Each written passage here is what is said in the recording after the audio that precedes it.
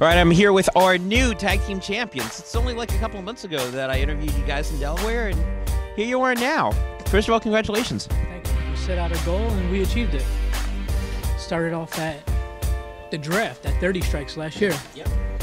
In the snow, In the snow. we lost to a Reaper Crew team, our first event, and in the snow, we beat a Reaper, a Reaper Crew team for the belt. But first off, respect to them. Great bowlers, great match. It was unbelievable. Came down to the last ball.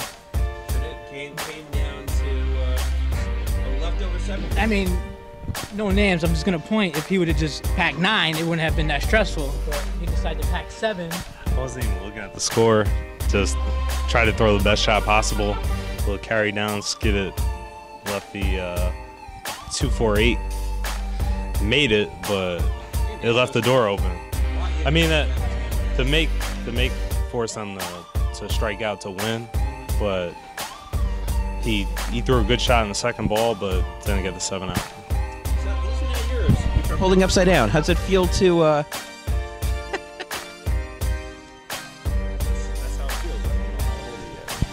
I was gonna say how does it feel. I guess that's how it feels. Most he said in an interview. It is. So you could tell he's a little nervous, like he's chuckling.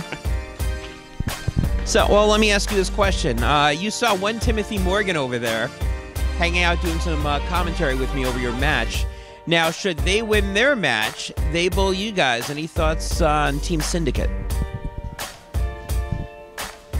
Thoughts? No. Just we're ready for whoever's coming, and we're gonna defend proud, make our team proud. Murder Inc. represent. Whoever we bowl, we bowl. We're just gonna leave it all in the lane as we've been doing. Yeah, I haven't, I haven't really seen them bowl before. Um, Think sure they have a lot of talent, so it's gonna be a tough match. Whoever we have to bowl next, but just gonna try to keep it clean, make spares, make good good first shots, and and have me bowl as minimal as possible because I was atrocious again, but that's why it's a tag team event. He carried me. he, he set the momentum though. We shot uh, that big game early on. Uh, I don't know what we were going out for 280, but we shot 58. But that was all him. I mean, he set the tone, and then I kind of picked up from there. Actually, you had a huge double in the eighth frame to set up in Game Seven because you had the strike there, and that's why you won the match. Was your double in the eighth frame?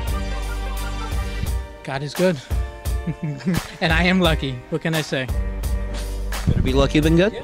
I'm good looking though, so Sure. Okay. Fine.